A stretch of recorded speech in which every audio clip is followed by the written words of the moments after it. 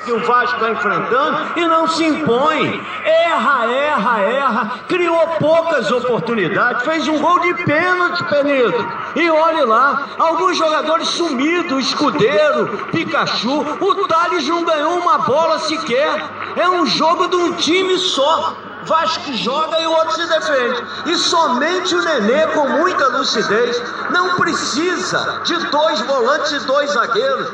Falta um homem do meio para frente. Valorizar a posse de bola, faz o gol a hora que quiser, Penedo. Vamos lá, Vascão. Olha o conselho do Aranha. Não cai na teia do Aranha. O homem tem a manha, hein? O sinalzão vai chicotear no Brasil de audiência. Vai marcar 43 e a chegada do 43 minuto do primeiro tempo.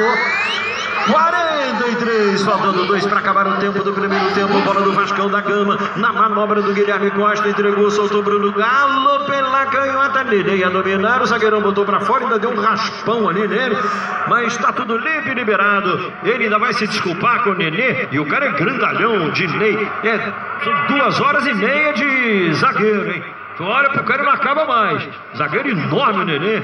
Vai, olha para ele. Não, tá tudo bem, tudo bem. Batida a bola pelo Vasco da Gama, entregue para o setor lá da canhota. Tava colocado para receber, partindo no campo de ataque, levando o Bruno Galo. Inversão agora para o Luan. Brata na intermediária, adversário com a bola dominada.